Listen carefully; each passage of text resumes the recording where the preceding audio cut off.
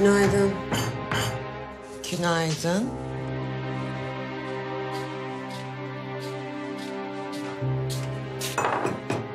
Daha ne getiriyorsun kızım? Ordu mu doyuracağız? Ne yapacağız ya? Ha çok olmuş hakikaten ya. Dur bir çay getireyim ben. Dur bakayım sen. Sen bir gelir misin? Gel bir otur şuraya. Gel bir bırak bakayım. Ha. Konuşacak bir şey yok teyze. Bitti gitti işte. Deli çıkacağım ya. Gerçekten çıldıracağım. Ne bitti kızım ne bitti? Gitmiyorum mahkemeye dersin olur biter. Zaten parayı sen istediğin için göndermiş adam. Ya bunda bu kadar kızacak ne var ben anlamıyorum ki. Anlamana gerek yok teyze. Anlamana beklemiyorum da. Bana yardımcı olmak istiyorsan ne olur biraz sus.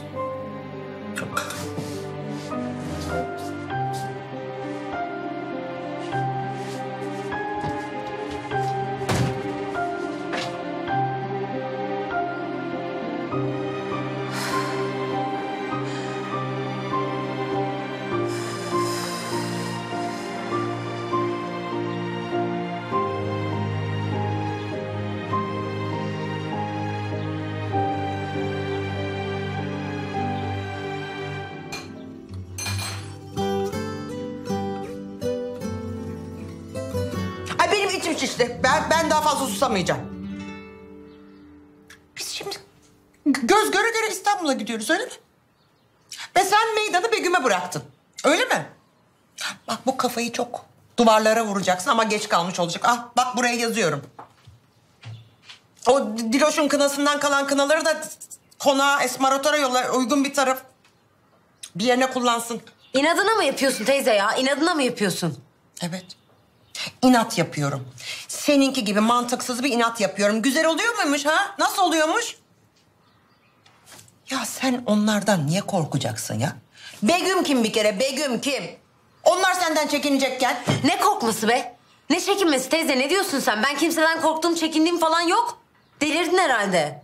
Ya ben neden korkuyorum biliyor musun? O devamlı kocasının telefonunu kurcalayan kadınlardan olmaktan ki olduğum zaten.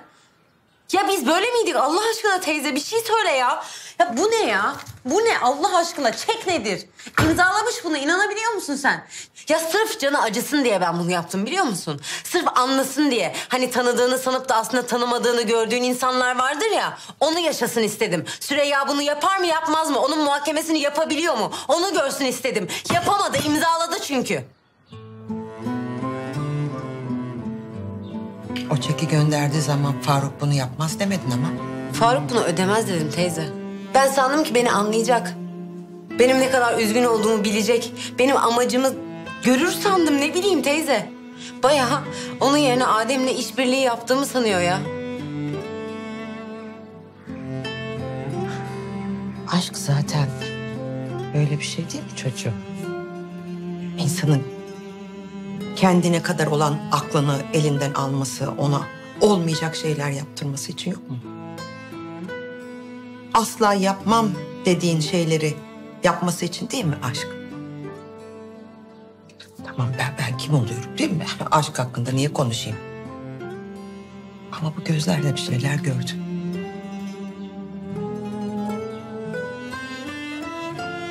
Balla zehir aşk. O zehiri içine akıtıyor ama... ...ben zehiri yine sende.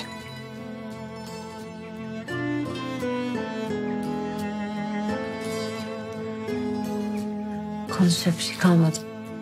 Bitti tamam. Ben zaten yarın falan ev bakacağım.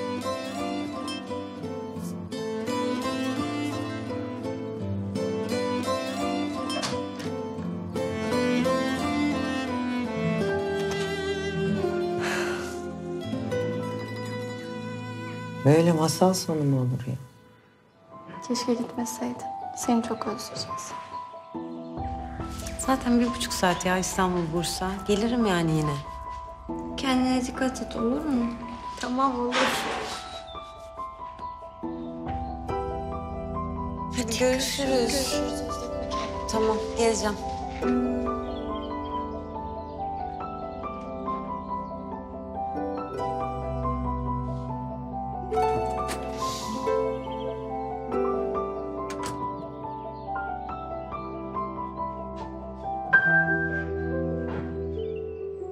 Selam. Selam. Ya bir şey soracağım. Bursa İstanbul'un bir semti oldu benim haberim yok.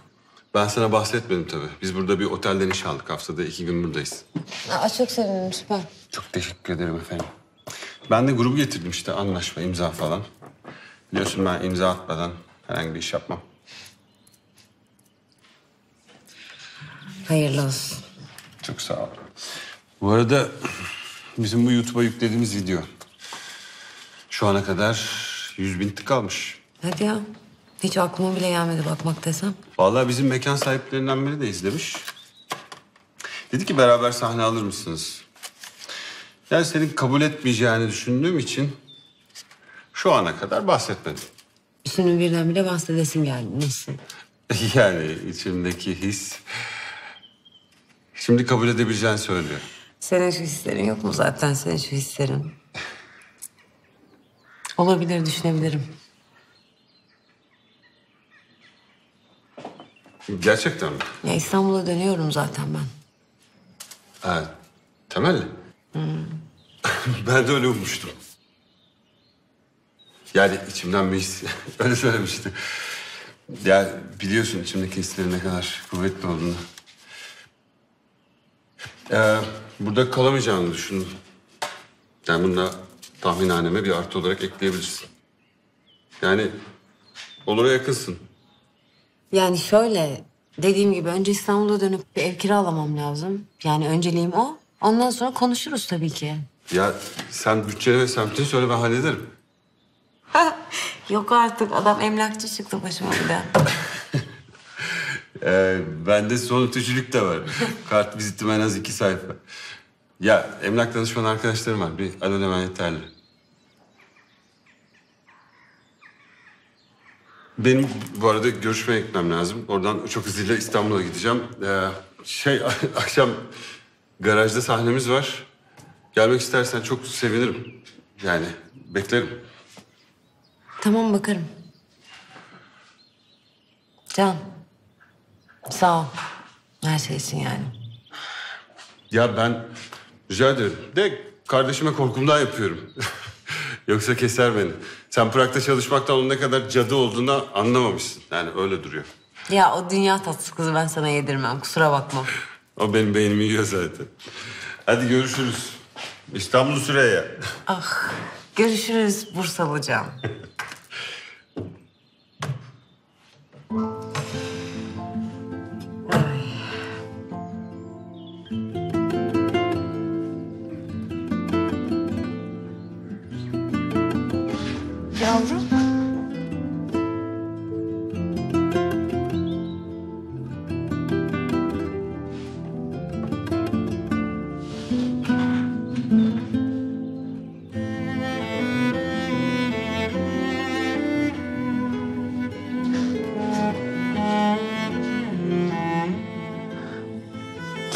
gerçekten?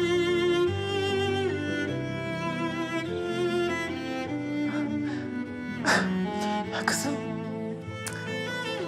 Sen beni Bursalı yaptın, kendin gidiyorsun. Ben ne yapacağım sensiz burada? Senin yüzünden. Niye yolluyorsun beni en başta zaten Uludağ'a? Faruk'la ilişkinizi ben başlattım değil mi? Kızıyor musun bana?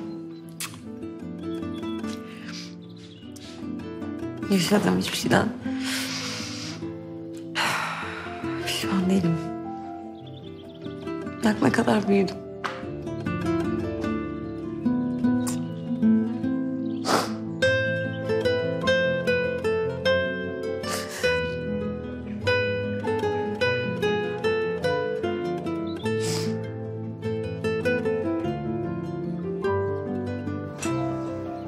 Basbayağı gidiyoruz ya.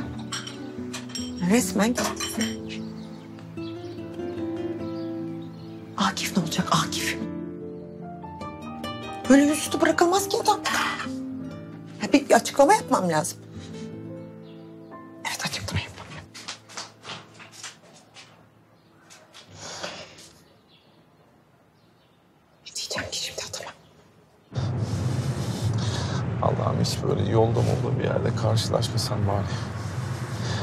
Ben bir süre hiç Bursa'ya gelmesem mi ne yapsam? Üf, ya of ben nasıl bir filmin içine düştüm ki ya. Hayır şimdi Süreyya ayrı Faruk ayrı keser. Hayır bu kadın da keser o da manyak. Psikolojik manyak. Allah'ım kendi kendime nasıl derde düşürdüm ki ben ya. Allah'ım sen büyüksün.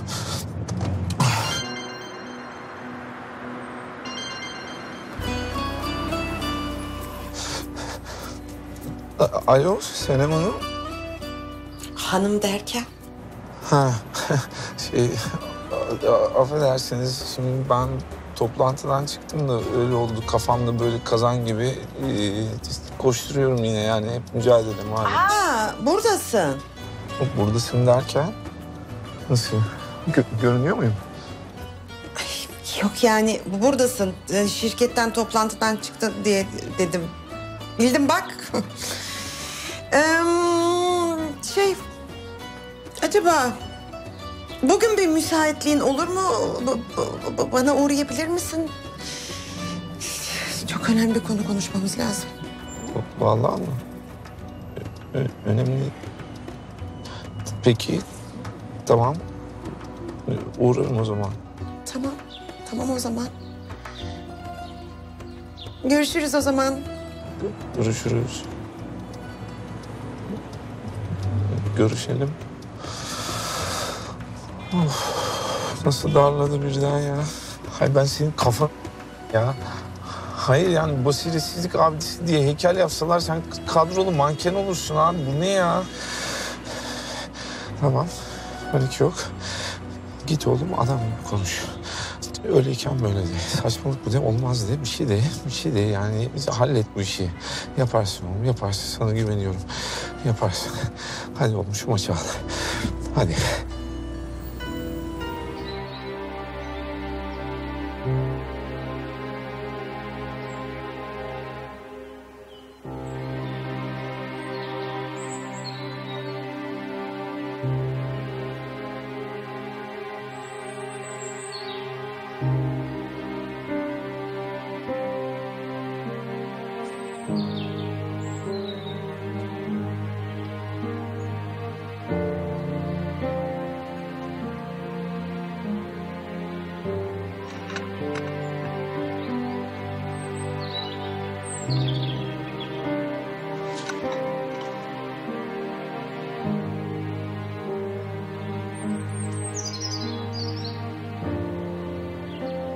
Ben yaptım o kurabiyeleri. Uykum kaçtı dün.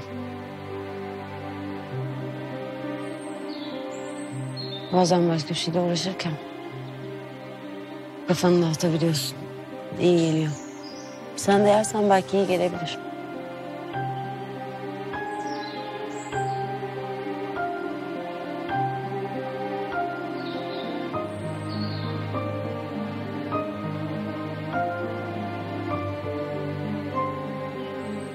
Ben Faruk'a söyledim burada olduğunu.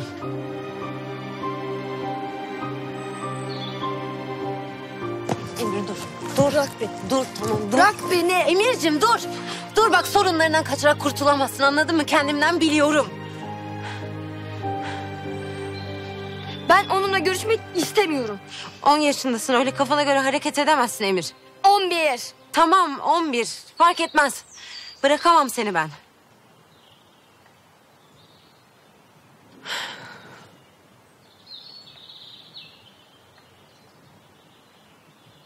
Neden sustu? Benim oğlu olduğunu biliyormuş. Onunla o kadar vakit geçirdik. E neden söylemedi ki?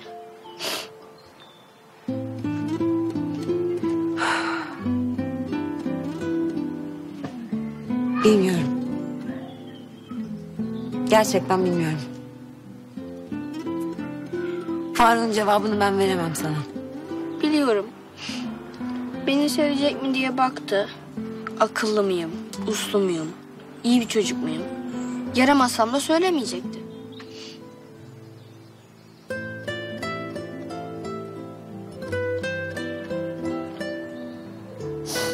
Emir'cim. Bak bunlar beni çok aşan konular. Ama ben burada müdahale etmek zorundayım. Faruk öyle biri değil ki. Yani öyle senin hareketine bakıp iyi misin değil misin uslu musun diye yargılayacak biri değil. Ben çok eminim seni ilk tanıdığı anda çok sevdi. Söyleyemedi sadece. Sessiz susar mıydı? Dayanabilir miydi? O kadar vakit geçirdik. Bana kitap okudu. Yanımda yattı. Onunla oyun oynadık.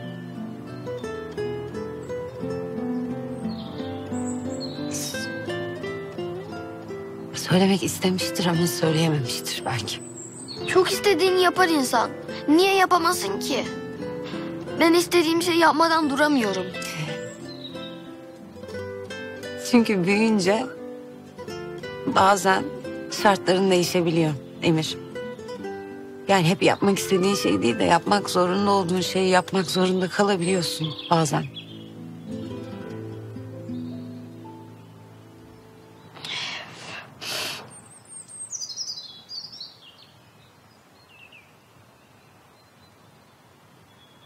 Baban sana çok söylemek istedi bence ama söyleyememiş işte.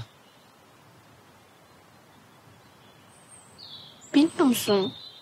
İlk öğrendiğimde benim babam gerçek babam değilmiş diye ona ağladım. O zaman niye söylemedi senin baban benim diye?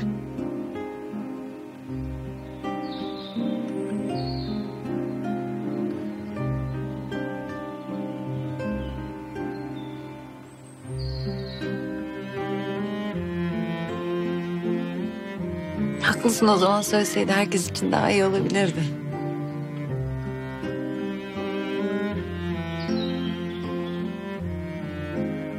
Bunu öğrenmek senin canını yaktı değil mi?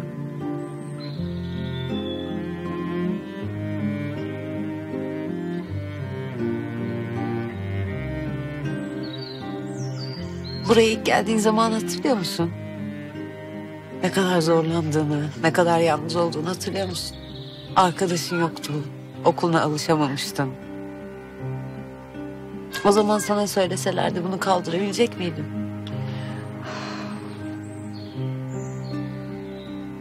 Aa. Annem bunu düşünmüş demek ki. Faruk da seni tanıyıp sevip sevmeyeceğini değil de...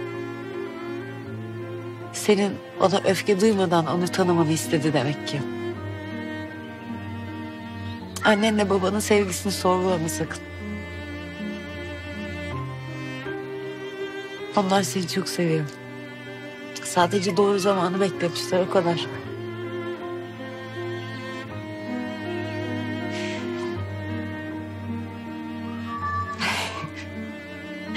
Bazen seni seven biri seni korumak için sana yalan söylemek zorunda kalabiliyor ve canını daha fazla yakabiliyor. Ama garip ki bir tek o seni bu durumdan kurtarabiliyor biliyor musun? Sana tabii söylemesi kolay. Sana hiç böyle bir şey yaptılar mı?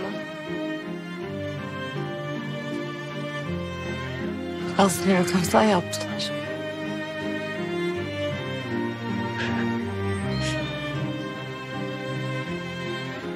Hem de aynısını. Annemle babam değil. Ama en az onlar kadar sevdiğim iki insan yaptı. Sen ne yaptın? Kaçtım. Ama bana kaçma diyorsun. Çünkü sorunlarını öyle çözemiyormuşsun.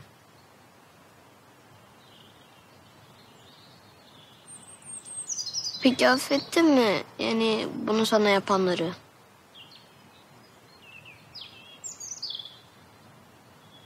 Benim durum birazcık daha karışık seninkinden. Hmm, nasıl karışık? Maalesef biraz daha büyümen gerekiyor beni anlayabilmek için. Ama sen yeterince büyüksün ama hala anlayamamışsın.